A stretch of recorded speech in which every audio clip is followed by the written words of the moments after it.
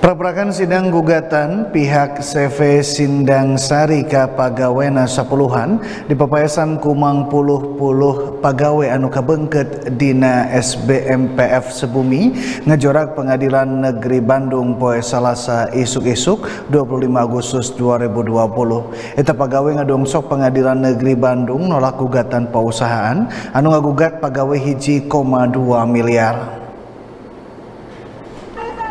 Satu tas sababara kali proses mediasi anu hente nyendeken hasil anu jinek dume hente diluuhan ku Direktur CV Sandang Sari poe Salasa 25 Agustus 2020 prak-prakan persidangan tuntutan ka sapuluhan pagawe CV Sandang Sari nincak hambalan macakeun gugatan.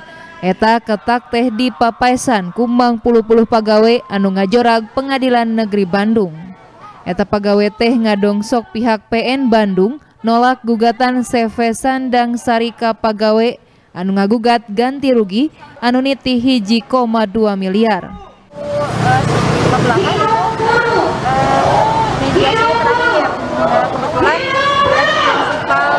atau pemilik perusahaan itu hadir.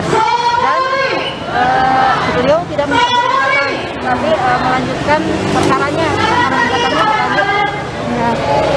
gimana nih tuntutannya jadinya? Tuntutan kami uh, yang kami uh, tuntutan kami tetap uh, kami menuntut hak kami uh, hak normatif dan uh, kami juga meminta kepada pengadilan negeri Bandung supaya menolak gugatan dari penggugat. Eta pagawe anu bengket dina SBMF sebumi CV Sandang Sari teh ngadongsok pagawe sapuluhan anu di PHK sapihak Sina di gawe deui Dicumponanana normatif pagawe, turta nyabut laporan kriminalisasi Kaan Aminah minaka pengurus SBMF Sebumi. Budi Hartati, Bandung TV.